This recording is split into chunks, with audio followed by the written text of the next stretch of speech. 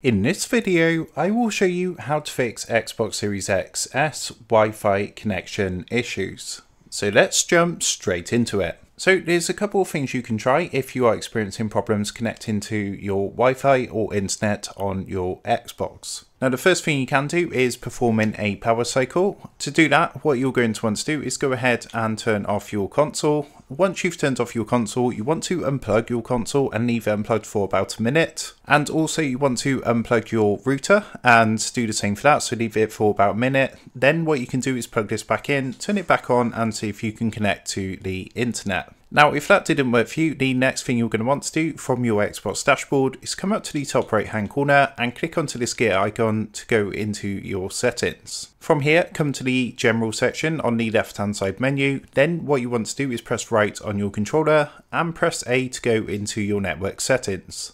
So what you want to do from here is actually try forgetting your wireless network. So you want to press A to forget your wireless network, then try to reconnect and see if that does fix the problem. The third and final thing I would recommend trying is again from this screen you want to come down to advanced settings and press A. And on this screen what you want to do is change the IP settings. So what you're going to want to do is press A onto IP settings. Then you want to change this to manual. What we're going to do is use the Google DNS which is 8.8.8.8 then go ahead and press start. And on the secondary or the subnet mask you want to put 8 0.8.4.4. Once that's done, see if you can connect to the internet and hopefully one of these methods should resolve your problem. If you are still experiencing issues, it could be a hardware related issue. In which case what you would need to do is get into contact with Xbox support for them to investigate further. It might be a case that you may need to send your console into them and of course if it's under warranty they should be able to replace the parts for you, no problem.